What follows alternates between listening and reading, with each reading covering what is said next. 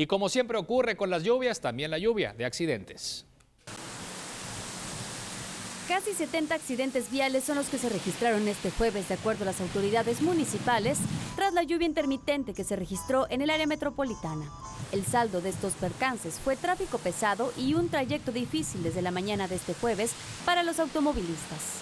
En estos accidentes participaron desde particulares, camiones urbanos hasta patrullas policíacas. Cuatro policías y dos jóvenes sufrieron lesiones al registrarse un choque y volcadura en donde participó una patrulla de fuerza civil. Fue en el cruce de la avenida Penitenciaría y la calle Ferrocarrilera al norte de Monterrey. Testigos señalaron que el conductor de la patrulla fue el responsable al cruzarse en el camino del otro vehículo. El municipio de Apodaca fue otro escenario para accidentes viales.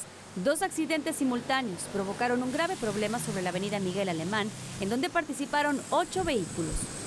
Debido a que al menos dos carriles fueron bloqueados por los automóviles siniestrados, el tráfico se presentó muy lento por cerca de dos horas. Las filas comenzaban desde la avenida Ruiz Cortines a la altura del fraccionamiento Victoria.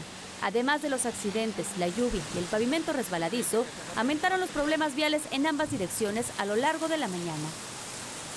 En el túnel de la Loma Larga la vialidad se vio paralizada luego de que el conductor de una unidad tipo estaquitas aceleró de más y los frenos no respondieran. Impactó a otro vehículo dejando como saldo a una persona lesionada y tráfico pesado.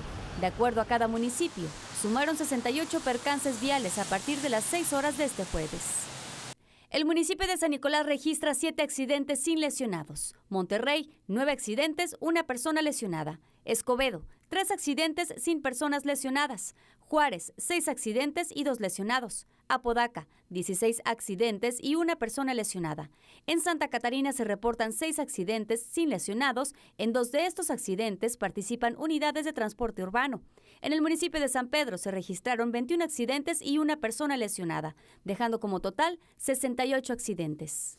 Las precipitaciones van a continuar, así es que salga con tiempo de casa y reduzca la velocidad mientras el pavimento se encuentre húmedo. Evite ser parte de estas estadísticas de accidentes viales.